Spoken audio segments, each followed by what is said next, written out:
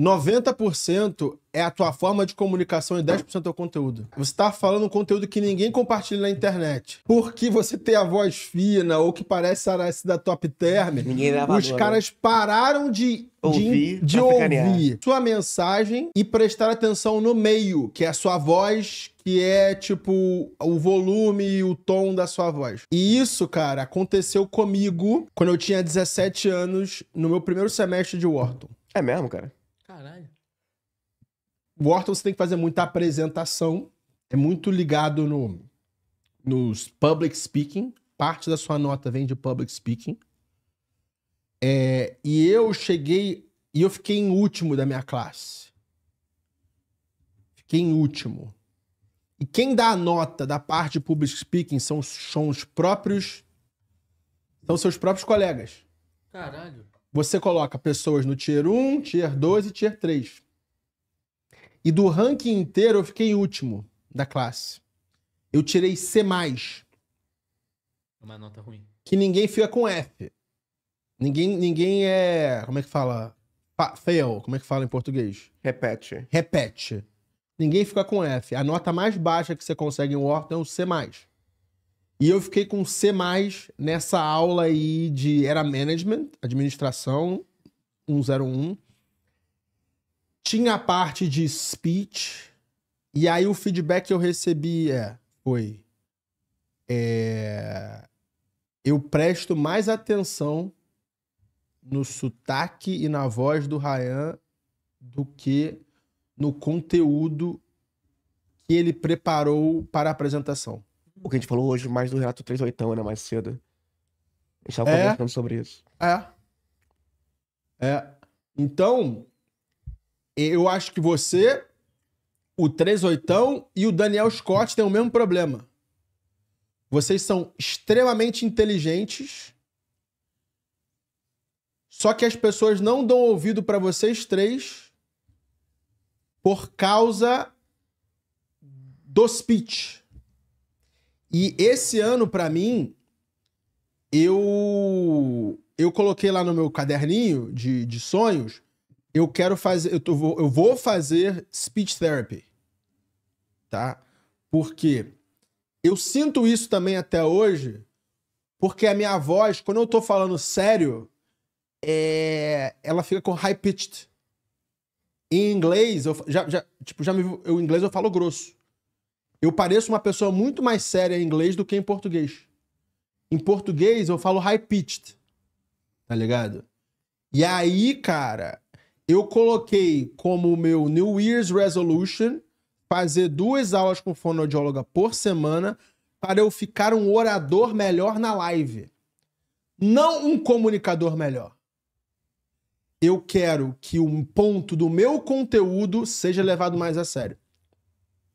Duas pessoas que foram treinadas e fazem isso muito bem. Andrew Tate. Vinícius Capelli e Thiago Finch. Você vê que os dois foram muito treinados na hora de fazer a imposição de voz. Coisa que eu, que sou muito melhor comunicador que eles, não tenho. Eu não tenho coach de voz. Certeza que o, o Tate teve coach de voz. E a gente tava conversando. Quando, quando que foi isso? A gente falou do Ricardo 38, Renato 38. Foi hoje ou ontem, eu não sei. Cara, o Renato 38 é um cara que eu olho pra ser esse cara inteligente pra caralho. E as pessoas não levam ele a sério. Por que, que as pessoas não levam o Renato 38 a Sotaque de sério? baiano. Porque ele tem sotaque de Bahia. Da onde ele é? De Recife, sei lá. Acho que ele é de Salvador. Bom, rapaziada, é, ele tem cura, eu não tenho. As pessoas não me levam a sério porque eu sou um negro. E essa é a verdade. Tipo, no subconsciente humano, as pessoas não foram pré-programadas para levar um negro a sério, levar um negro mais inteligente que eles, mais rico que eles. Eu não tenho solução. O Renato 38, ele é branco, ele tem solução. A solução para o Renato 38 s- realmente ser reconhecido pelo conhecimento que ele tem é arrumar um speech therapist que anule o sotaque que ele tem. E aí ele vai deixar de ser uma pessoa de nicho para ser uma pessoa estilo. Cid Moreira. Vai ser um Cid Moreira, um Pedro Bial da vida. Todo mundo vai escutar o que ele tem a dizer. Entendeu? Então, desse papo todo, essa história que eu contei de Wharton, eu com 17 anos, cara, o que, que eu fiz? Eu fiz de tudo para perder meu sotaque brasileiro. Entendeu?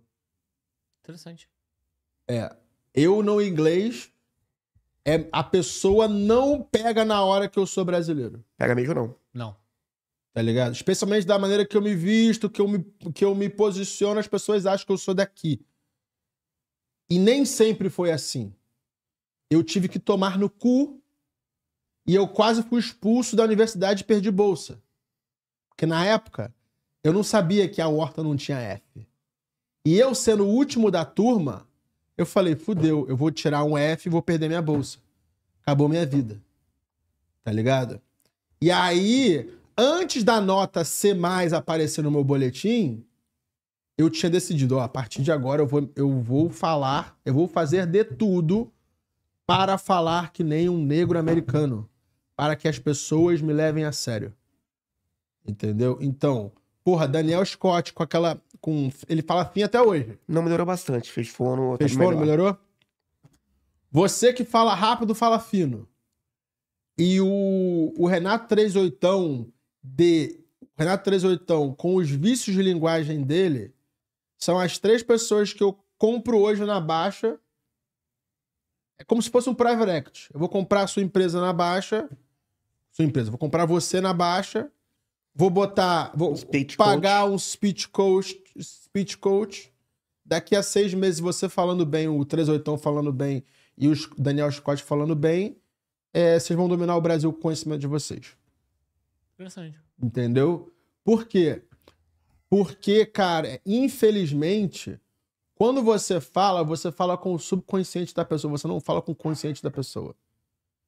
Entendeu? Eu não tenho as condições, apesar de eu estar tá cavando, galgando esse, esse caminho há anos, eu não tenho o potencial que ele tem, que o Scott tem, que o 38 tem, porque eu sou negro. E eu já entendo isso. Não adianta eu usar um Patek Felipe no pulso, eu ter centenas de milhões de reais, as pessoas não vão me levar a sério de primeira.